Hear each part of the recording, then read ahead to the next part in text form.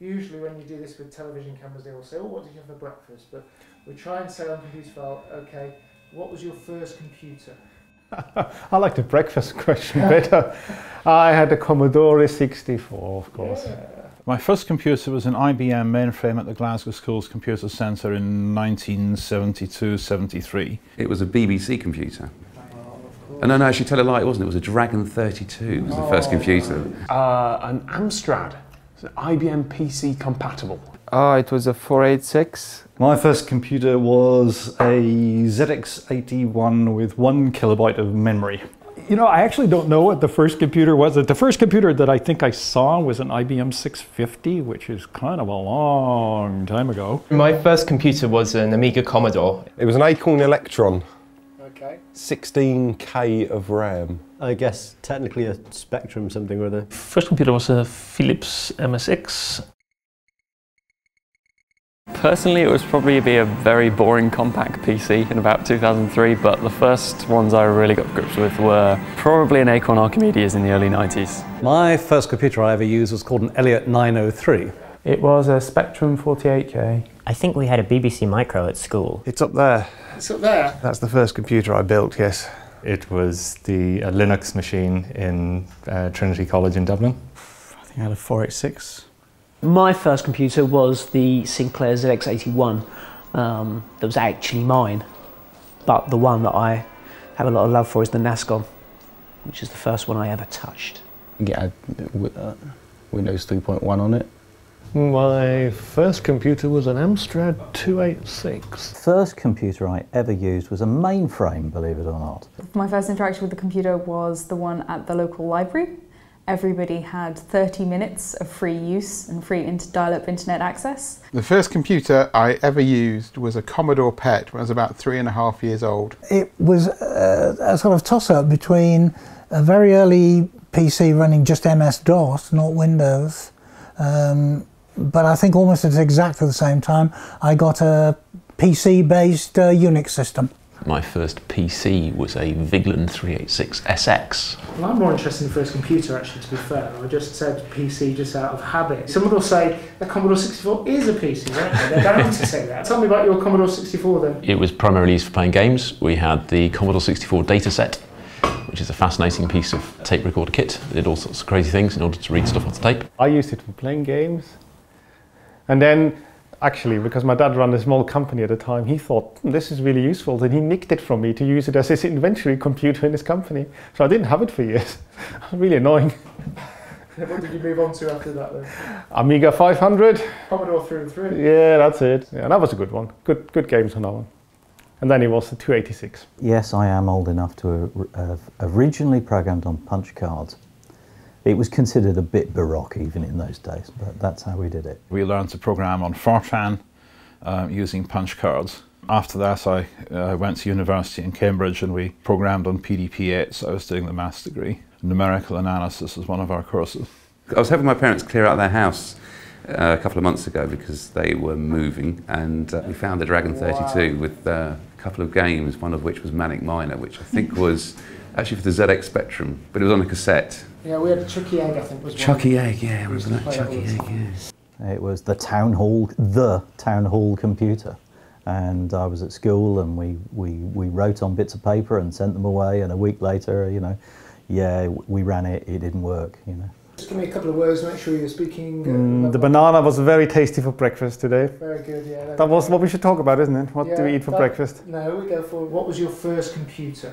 I tell you what, I've been to a dinner the other day with our external examiners, and uh, they were talking about what was the first computer they programmed on. There you go. But but they're obviously 60, 70 years old. Yeah. I had no idea what they were talking about. the GG41 plop or something. Just numbers. I wish they talked about a breakfast. Instead of what do you have for breakfast, you say, tell me about your first computer. Oh, I usually use Dirty Limerick.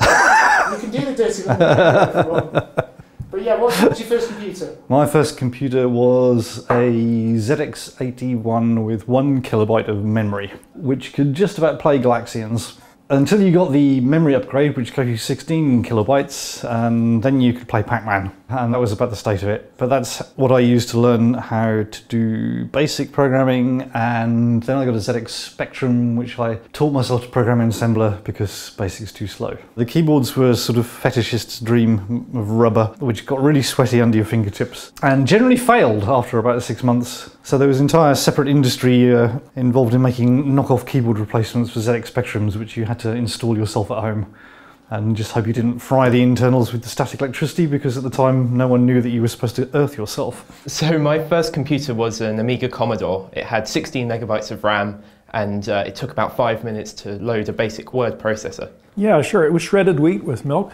Sorry. Uh, you know, I actually don't know what the first computer was. The first computer that I think I saw was an IBM 650, which is kind of a long time ago. And the first one that I probably did anything with might have been an IBM 1620, which was a little one, and by the standards at the time, and uh, an IBM 7094, which was the big computer at the University of Toronto. That actually was while I was an undergraduate, so that would be 63 and 64. Mostly punch cards, although I think it's possible that the 1620 used paper tape. I don't remember now at this point. So definitely the good old days. Crikey. I, guess technically a Spectrum something or other, but I really got going with a Commodore 64. And played plenty of games of Pong on Ataris as well. It kind of had that version of BASIC, which wasn't quite the same as BBC Basic, but it was almost BBC Basic. And I had a BBC Basic programming manual. This was back in 1986 when I was six years old, and I got really hooked at that age. My dad wrote a very simple program for me to do maths, and then I changed it a lot. And um, it had one of those nice cartridges that you could uh, slot in. Um, yeah, that was that was that was brilliant. I loved programming BASIC on that. I think I was nine years old. Basic Yeah. didn't ruin you for life then. It did not, no. Although I did have a big uh, big gap in which I, I did not program at all. My first computer I ever used was called an Elliott 903. And indeed, I have one in a spare room at my house. I spent a bit of time in my summer vacations as a student working for the company that made them, and we used them building flight control systems for the Nimrod and what is now called the Tornado. So I've memorized the instruction set of that machine and program it in my sleep still. It had these enormous floppy disks, which were probably actually much smaller, right? Because I was much smaller. Tell me about your Spectrum. What was your favourite? Did you game on it or program it? Yeah, Or? Manic Miner. I did loads of basic. I don't know how big they were. They were definitely bigger than the regular ones, but I remember them being like huge. Like you, you walk around with them like this. Because I went back and the entire school um, is smaller now than it was. So Rubber keys, that's all I remember. And how it was very hard to type. First computer. First computer was when I was very young. We're talking late 80s, which uh, dates me. Uh, which was uh, an Amstrad. IBM PC compatible. Um, I can't remember the exact numbers. Numbers 15, 12 are coming to a head. Like that might be the model number, something like that. The first computer that a lot of people around here, the guys who work here at ARM, remember from having had in their bedrooms and the ones that they learnt to program on, is the first one that I actually worked on producing, actually part of. So that was the BBC microcomputer. I came a little bit too late to for Commodore 64s and all that. Like they were still out there, but I was always, always, always uh, on PCs all the way through. And it, it had a hard disk. It was about 20 megabytes of hard disk, which was plenty. You know, um, it, it played games, sort of. It, it had four whole colours. It's great. I worked for a little consultancy in Cambridge, and these crazy nutters over the other side of town had this idea that they were going to build uh, computers and they were going to put them in every home and every school and things like that. And it was obviously complete insanity, but we thought we'd help them out and they paid our bills, so why not? Was that in kit form or did you? Uh... No, no, it's entirely home designed, including anodizing the aluminium in the kitchen sink and things like that. It's well, I built that um, when I was, a, I think, a PhD student at Cambridge, um, and I joined the Cambridge University Processor Group, and uh, that was a society for students who built computers for fun. Um, the real men built everything out of TTL, and the wimps like me use these newfangled microprocessor things. Um, so that's a microprocessor-based computer. And um, yeah, we, I think we know where that went. As in, yeah, it sort of, uh, in the long run, had a career transforming impact. Defining, yeah, absolutely. Defining, that's a better word. Yes, yes, that's right. Cost a relative fortune. Unbelievably slow, but it was all mine. not very fast, not very powerful, not much memory, um, but it did the job. And uh, then when I went to uh, Oxford to do my PhD, uh, we had some faster ones again. They were Linux, uh, well, they were Unix actually, Sun workstations. Um, and gradually over time, then we've migrated up to larger and larger systems. In the loft, we have one of those old ones that's an A4 screen that's green only, but I never did find out what that was. So you had a 486. What did you use it for? Did you program or game or? Game mainly. I had an Amiga as well for Dynamite Dux and Worms, the original. The NASCOM was a kit computer, British machine. Uh, it was basically a kit form machine that you could buy the boards for and then put together yourself. No two NASCOMs look the same. They're all different. It was a Z80 based system, but it was just one that my uncle had. And I just went round his one evening with my dad and used this computer. And he built it in a way, it was in a case like, actually a case very similar to that in a way, but it had metal cross hatch kind of into, so you could see in it. And the cards had LEDs on and the LEDs blinked as it was doing stuff. Um, and um, sold. Yeah, yeah, big time, big time. And I was completely blown away by it. And I just remember, I mean, I was only about, I don't know, eight-ish. The drive home that night when you're a kid and you're in that kind of half between asleep and awake, just dreaming about that machine and all the things I could potentially do with it. And that just that, that's the most vivid dream I've ever remembered. Just the first time I saw and touched a computer. It's amazing. Sad, really. It was mostly games. Tried a little bit of programming, didn't really take to it to start with. And my parents have still got it. My brother got it out. The first challenge was finding something you could plug it into for a screen, because none of the TVs have got uh, the right analog input anymore. So we ended up with a video recorder with the right analog input. My brother had to go and make a cable so that he could connect it then from the, into the video recorder. The video recorder connects to the TV, so we could play out of it.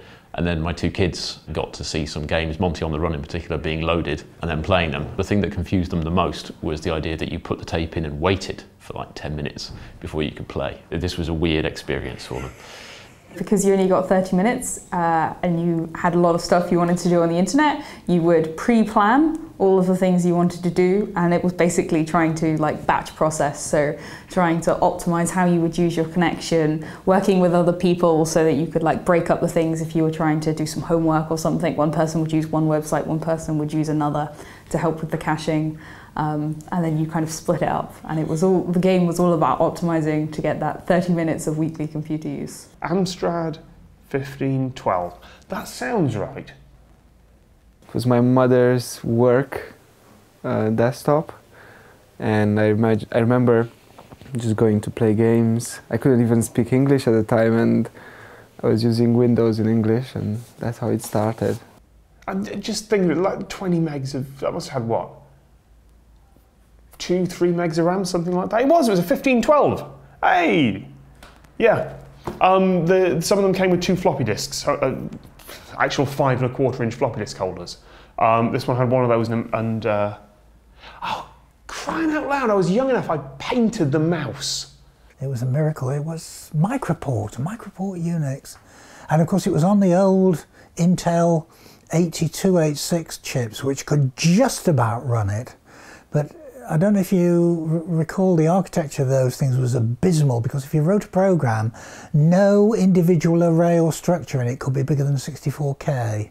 It still had 16-bit limitations inherent in it, even though it was nominally a 32-bit chip. And that was all removed with the 8386 and 8486, but boy did I live with them under Unix. But never mind, those were the days, yeah that it came with a mouse. This, this being me at about age, what, three, four, something like that, I, I thought mice were brown, so I painted the mouse brown, and amazingly it kept working. And uh, what, what OS was it running then? Can you remember? Oh, that was running. That was running really early DOS. It must have been DOS three, something like that. I'm not sure. Um, it was certainly pre-Windows, pre anything like that. I think we there, we tried to get something called Gem running on it, unless that was the, that was the computer after, which it just it was never the, never the right thing. But yeah, it was command line. It, it wasn't too hard to understand. I think that might be my first bit of programming was batch files on that.